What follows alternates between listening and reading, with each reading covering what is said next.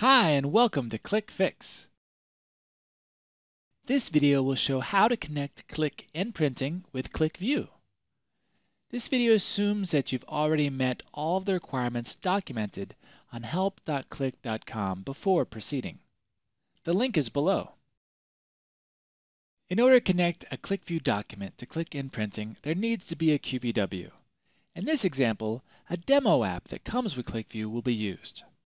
The first step for creating a connection between QlikView and NPrinting is to go to Apps from the NPrinting console. Create an app and give it a name. Sample QVW. The next step is to create the app connection. Go to Apps and then Connections. Create connection.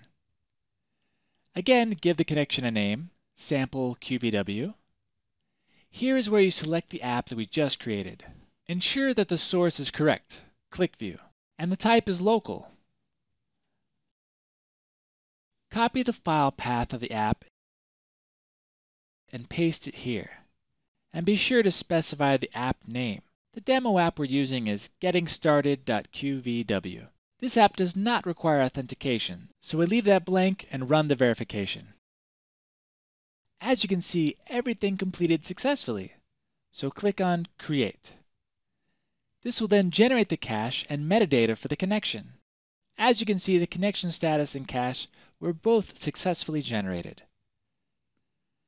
This QlikView document is now connected and printing. From here, you can go ahead and create a report by going to the Report tab and clicking Create Report. Enter a name for the report, Sample Report, choose the report type and the app the report is based on, and create.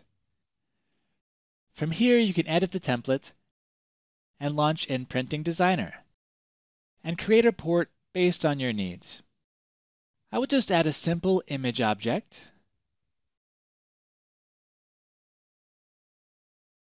and show a preview. And there's the report. Qlik NPrinting has successfully been connected with QlikView. If you need more information, please search in the support portal. Thanks for watching. Nailed it.